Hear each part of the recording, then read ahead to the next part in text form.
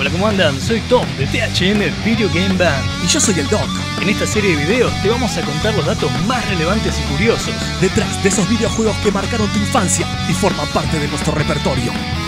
Esto es THM TV.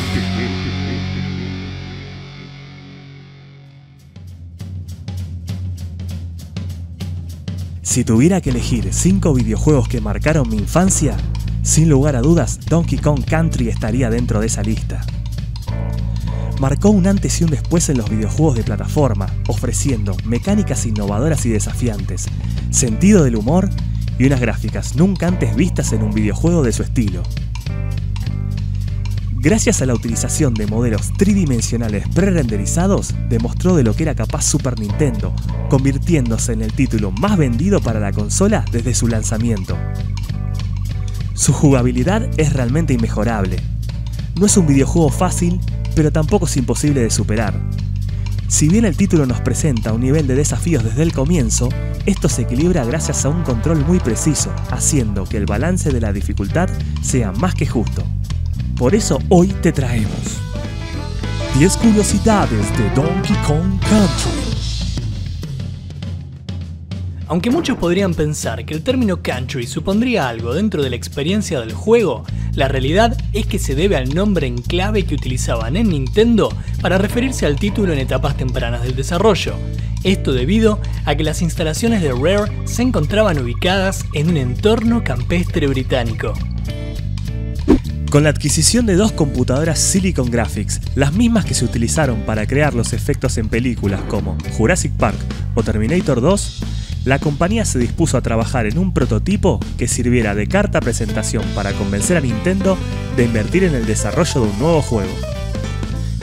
Para dicho objetivo, crearon una demo de un juego de boxeo bajo el seudónimo de Broad Force, que terminaría sirviendo de base para la creación del aclamado juego de lucha Killer Instinct. Tras la demostración, Nintendo quedaría tan impresionada que no solo le ofreció a Rare una de sus más preciadas franquicias, sino que además ni lerdos ni perezosos se harían accionistas mayoritarios de la empresa.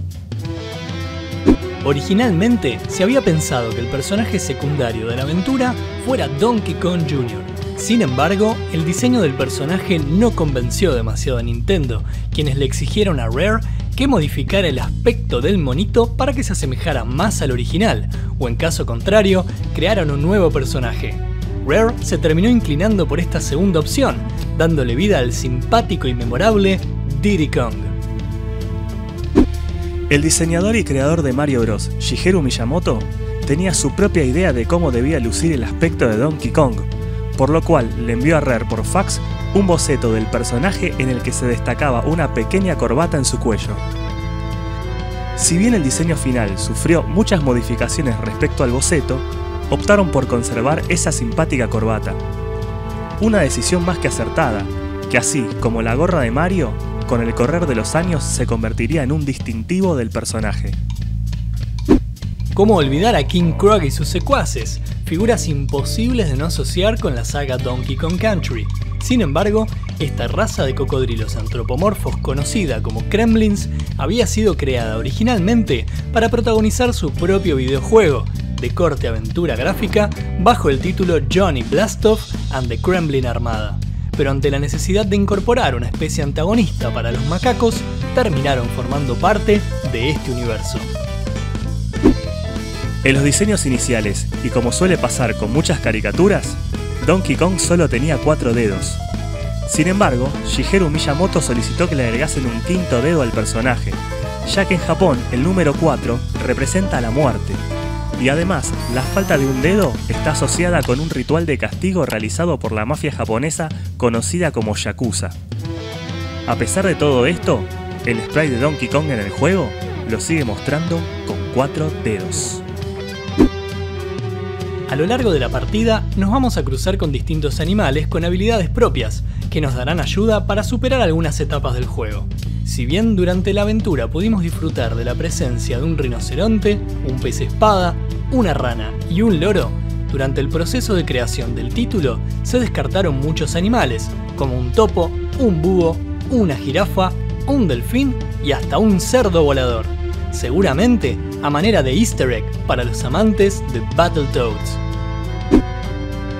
El legendario Super Mario Bros. 3 serviría de una gran inspiración para el equipo de Rare en el desarrollo de la aventura de los monos, quienes tomarían varios elementos del título de los fontaneros, tales como las clásicas mecánicas para acabar con los enemigos, así como también la incorporación de un mapa que conecta las distintas fases del juego. A pesar de las limitaciones técnicas que poseía un cartucho de Super Nintendo, que solo disponía de 64 KB y 8 canales para todo el audio del juego, el compositor David Wise logró lo imposible, con composiciones ambientales de un realismo nunca antes oído en un juego de esta consola. Esto lo logró traduciendo las ondas simples generadas por un sintetizador Korg Wave Station e incorporándolas a la consola a través de frases compuestas, que la Super Nintendo leería como si fueran una sola nota. ¡Qué trucazo, ¿no?